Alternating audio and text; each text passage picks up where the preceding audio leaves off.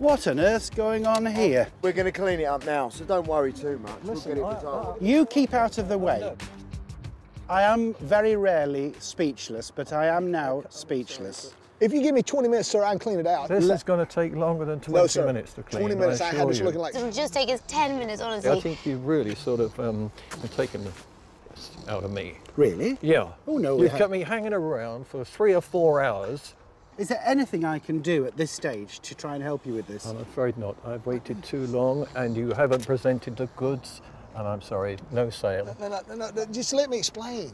Sir, please. Can't just give just 10 chance. minutes, that's all we need. Just give us a chance. I'm appalled and disgusted with both of you, and you should have known better. You're meant to be the practical bones of this situation. Hang on a minute. This is nothing to do with me. Never is. Nothing to do with me whatsoever. I was only trying to help him out. Now I'm getting the blame for it. This is wrong. Totally wrong. No, wrong. no, don't leave, Bo, don't leave.